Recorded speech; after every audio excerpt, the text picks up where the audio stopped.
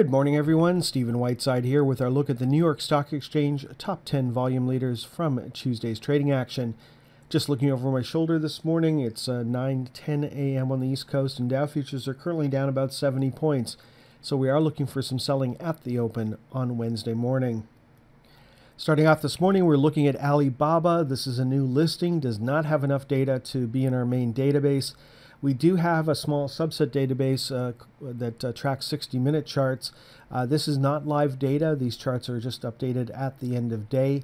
And uh, so Alibaba is up at the top of the panic zones. It looks like it's starting to roll over. And uh, we are projecting lower prices here. You can see that we're projecting down to the 105 area. A move down to 105 should not disturb longer term investors. It is certainly a nice trade uh, if you want to short this stock and, and take it down to 105. Uh, we can remain short this stock on Wednesday unless we see a close above 116.37. Uh, a breakout above 118.75, which is the recent target that we hit and reversed. A breakout above that takes us up to 125, then 131.25. A breakdown of 112.50 takes us down to 106.25, and then possibly down to 100. You can see where the hourly flypaper channel is. A, uh, with uh, the stock trading above that, the bulls are in control. If we start breaking down below 105, that would certainly get longer term investors' attention. And then, of course, a psychological break of 100 gets everybody's attention. Next up, we're looking at Bank of America. There's an early warning signal there. The stock's currently ranked at 10. Remember, we look for buying opportunities when a stock's ranked 2 or lower. We look for selling opportunities when a stock is ranked 8 or higher. And uh, here we are trying to uh, uh, get uh, Bank of America to break out above the September highs. So far, we have not been able to do that. Our target was 117.58. On the downside, we'd be sellers of Bank of America on Wednesday with, with a close below $17.05.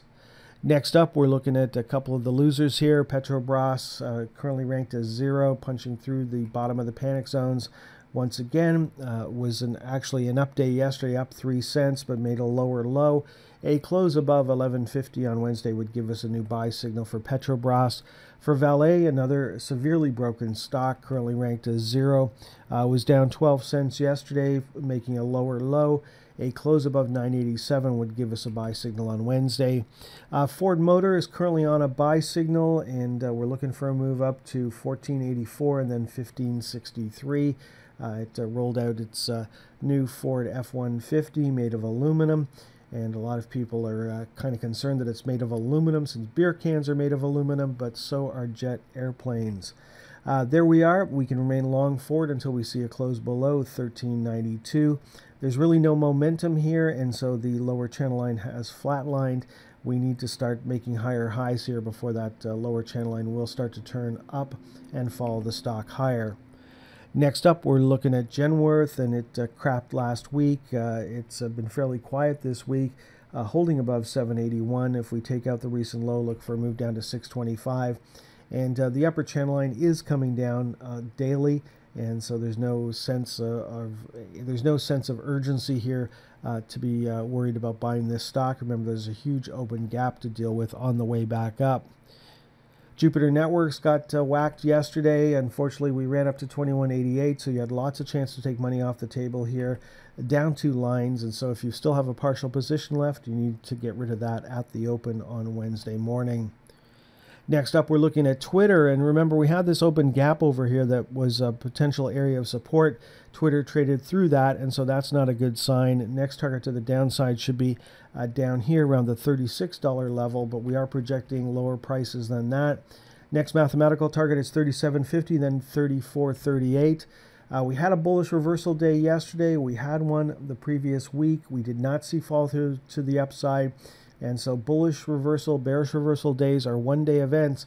They need follow through in that direction to confirm them. If you don't get that follow through the next day, you basically just fade that signal. And uh, if you're looking for a buy signal on Twitter on Wednesday, we're looking for a close above $42.57. Next up, we're looking at General Electric, and we were uh, our mathematical target for General Electric was 2656. We got as high as 2653, so that's uh, rather unfortunate. Uh, but uh, looks like uh, we've pulled back uh, yesterday. We'll have to see if we get fall through to the downside today. looking for a close below uh, $25.76 on Wednesday to give us a new daily sell signal. Not expecting that to happen. There's JC Penney. It ran up to 781 and reversed, and so now we're looking to see if we can hold the recent low. Uh, we generated a buy signal uh, a couple of days ago, and of course, the next day, if you were buying this stock, you would have bought at the open the next day, and so lower than the previous close. But now we're back on a sell signal, so that was a one-day trade, and of course, you want to be out of this stock. Uh, you know, this stock, if you stand back and look, this is a monthly chart of JC Penney, so we know that it's going bankrupt at some time in the not so distant future. If you want to be a successful investor, uh, then of course what you want to do is look at a stock like Macy's and, and buy the dips. Uh, you want to constantly buy the dips in the strongest stock, not buy the dips in the weakest stock, because that's not the direction the market wants the stock to go. And so, you know, when you're looking at uh, any sector whatsoever, if you want to be a successful investor, you want to be buying the strongest stock in that sector on the dips. Now, as a trader, you know, if you've been shorting uh, J.C. Penney and uh, you know last week was a reason for you to cover your short because you were going long, that's a different conversation. But don't look at J.C. Penney and look at it as it has any investment qualities whatsoever.